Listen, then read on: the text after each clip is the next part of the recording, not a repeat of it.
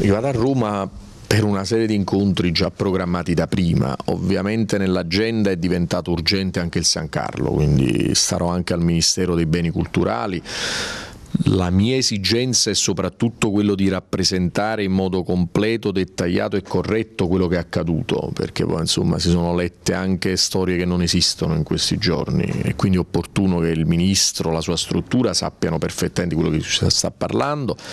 che sento parlare di commissariamento ma non c'è nessuna ragione perché il San Carlo venga commissariato e anzi ci sono tutte le ragioni perché il San Carlo venga sostenuto nella sua gestione ordinaria. Qual è la proposta del Comune per salvare il San Carlo? No, ma il San Carlo in realtà noi l'abbiamo salvato, nel senso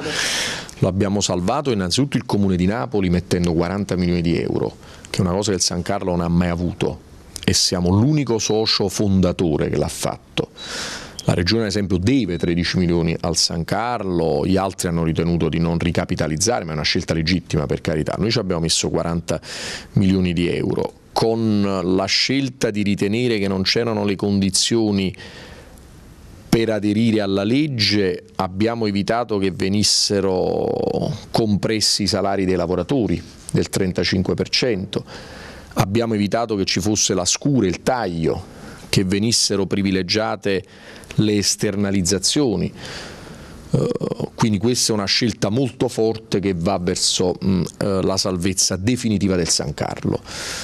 La scelta di dimettersi uh, crea delle difficoltà perché attualmente il CDA non ha dei componenti, ma leggendo con attenzione norme e statuto non ci si può sfilare dal San Carlo. Quindi io tra oggi e domani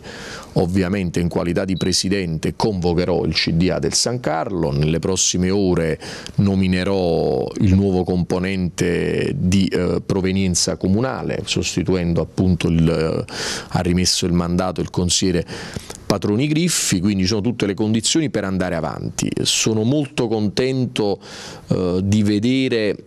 una straordinaria passione nelle lavoratrici e lavoratori del San Carlo, che sono uniti in questa battaglia. La battaglia è la loro. Il Presidente della Fondazione San Carlo ha scelto di eh, seguire loro in questa battaglia perché è una battaglia giusta, giuridicamente corretta,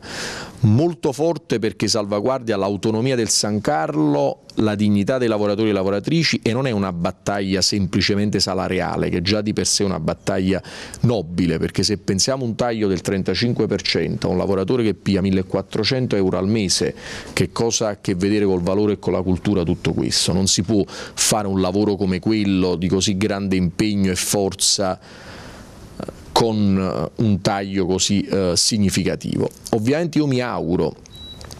che possano rientrare le dimissioni del Presidente Caldore e degli altri, altrimenti, come dire, siccome sono dimissioni personali, che vengano sostituiti con altri eh, componenti. Um, chiudo dicendo, um, giuridicamente Caldoro e anche gli altri hanno sostenuto che a loro avviso c'erano le condizioni per aderire e allora io francamente insomma, non comprendo perché uh, ti dimetti, dovevi fare in modo che uh, in qualche modo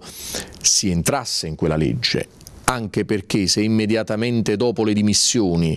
uh, si creano le condizioni per non ricostituire il CDA, vuol dire che la finalità evidentemente era quella di non consentire un prosieguo ordinario delle attività eh, del San Carlo. Quindi ci siamo trovati di fronte a due interpretazioni, entrambe giuridicamente sostenibili,